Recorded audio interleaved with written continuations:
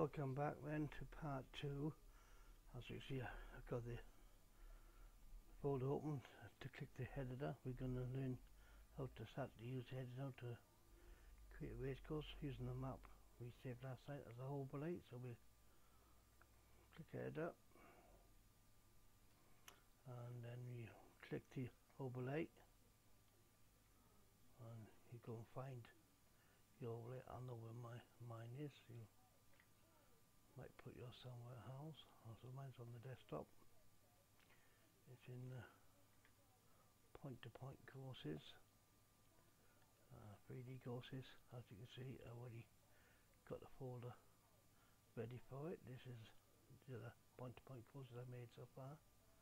Click in the folder and the Silverlake. So click on that. It will load in, and now the first thing we do is we save it and name it. So this is going to be Thorpe Lodge dot map. So we save the map. Map saved. And then we click off it and close it because the editor is very glitchy. So we click off that and then we open it back up. And it'll now load that should take you back where you saved it and there it is. So now load uploads map so there it is. So we're now going to scale it press F1 and move the mouse. As you can see you can move around press F1, press F2 and stops you moving around. So F1 to move on and press upwards and the W to go forward into the map. Find your course.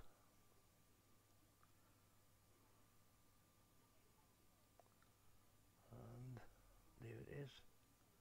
There's the race course as you can see. Now we're not going to touch the race course yet. What we're going to do is we're going to scale it. You have to scale this as we uh, make sure you, when you're scaling that you, you've got the background of the map and not the sky because you won't be able to see what you're typing because it types in white. So make sure you've got the green map. And you and press F2 to stop moving on then you press scale and type in what it was. We're going to put in 84 because I think it was 91 but we'll type in 84 there we are and uh, now it's now it's saved and scaled now you're ready to wait now. I'm gonna show you something um, that you don't want to touch really. I'm saying it because you have to be quite used to this. Now we're saying this uh, this course is on leaning so so you want to zoom out. This is what we're going to do. We're going to I'm going to show you in terrain. Get rid of the grid. I hate the grid. Now points. This is very difficult to do and unless you've done this a few times I suggest you wouldn't do this but once you've done it a few times you can. Um, I use this on uh, if you ever played the jumps game on the build of Towcester which is in the game Mark just put in the game um, this is what I use to get that uphill climb. That Towcester is famous for because it's the toughest course in the country so you you make sure click and hold the left button and it'll rise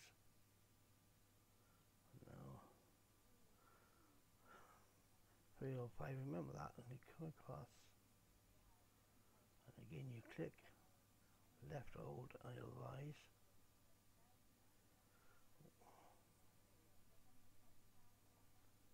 Right. Now what I'm doing is I'm you can see it's in the air and it slowly lean down what it'll do it'll build a course up so. If I press building you'll see try and move away a bit. Trying to figure out which way it is now. I'm going to press build points and you'll see the whole map rising it into the air. And there you go. So what you have now is is that it leans as you can see it goes down to the end of the map. And that's how you get your uphill now I used on Towcester but I know it's quite difficult to do. And if I was you I would not do this points. It's unless you're pretty good at this um, I wouldn't suggest a beginner to use this you think the, the map below us disappear it hasn't. It's because you would save this and you would click off the you would exit it again. And when you load back in which I'm going to do now I'm going to just click X. I don't want to save this. So I'll click X and I'll load it back in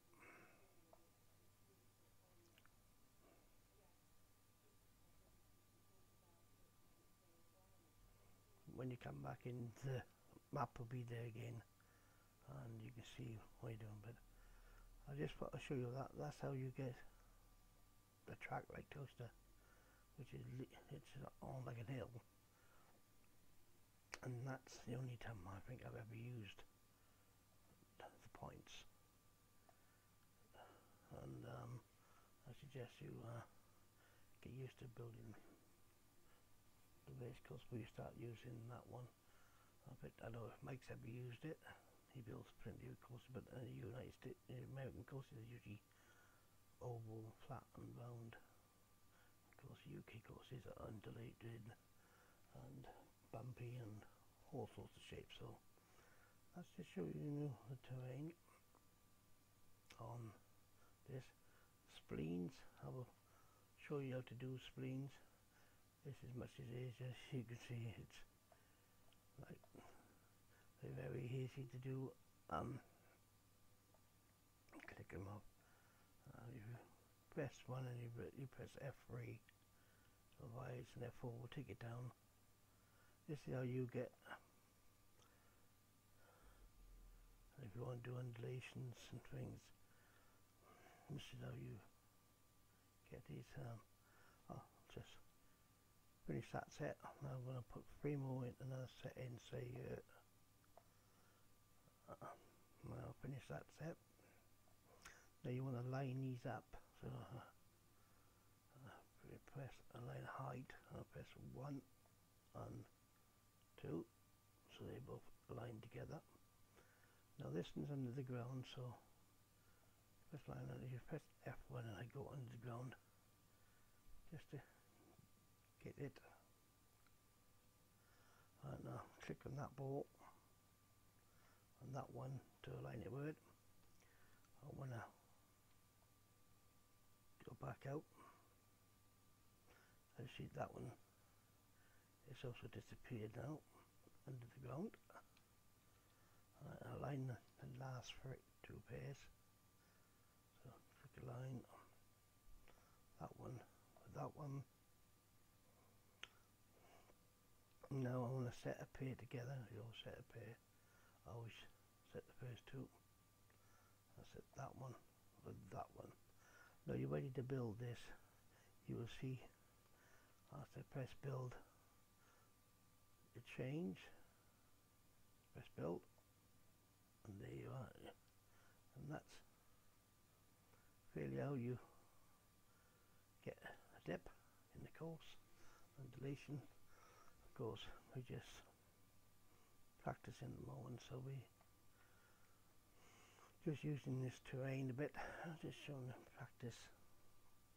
Makes perfect but of course that's just a little one so we we don't want to save that either so I'll just click off again and I'll click in back I'll click back in. Um, park again another. Terrain is the most important thing really. As we go into it again take the grid off. Vertex. Now you can either build mountains or hills or depths or whatever the vertex as you can see you go very flat and level or average. Uh, to rise you there are you either use the wheel to make it bigger or smaller. And left will rise to make mountains or hills or whatever you want to do. And if you want to make a dip right and you put water in there if you want to um, to flatten it again. Or level it. If you make mistakes.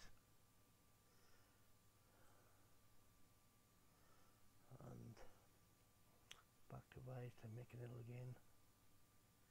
So that's how I make most of my hills. Uh, there's another way you can do it, which I will show you, but you'll have to use the splines for that. So flatten that again. That's all.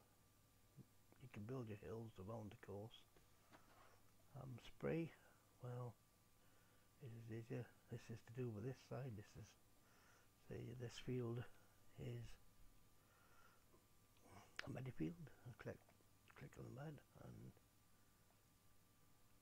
that yeah right field click the mud now this is pretty rough. If you want a plough field now to make this look better in the game and smoother you uh, point on this arrow you click it hold it down wheel on the left and use the wheel in the middle back to make it look nice or you like it rough and move it back the other way and make it look rough again and that will tidy up your course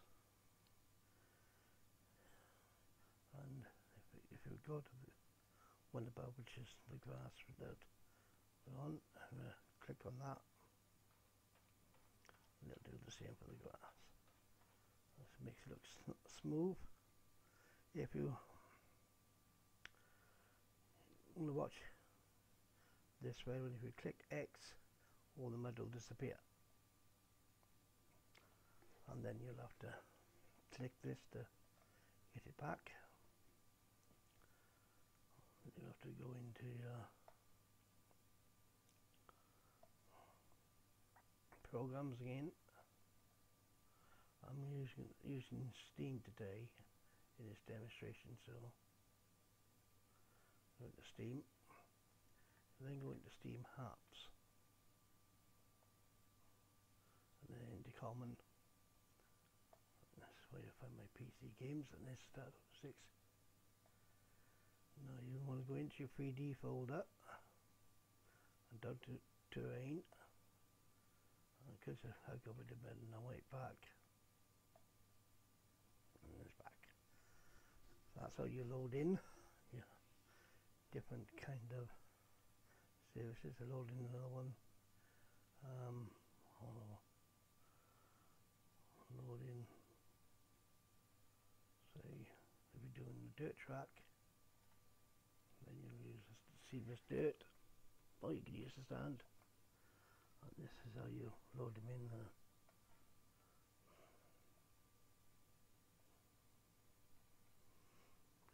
So that that's it at the moment.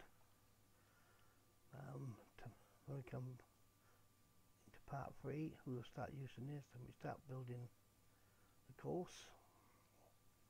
We'll put some wheels down on the inside to, to get what the course will look like and we'll plough, we do the fields on the inside. We'll use the thread for that, which is a good tool, which I'll, be, I'll show you how to use tomorrow in the next video. but that's part two if I it's always good if you plan on building a course to, to have a practice and maybe just you know learn how to use these things before you start on the real course so I'll see you in part three when we'll start building the course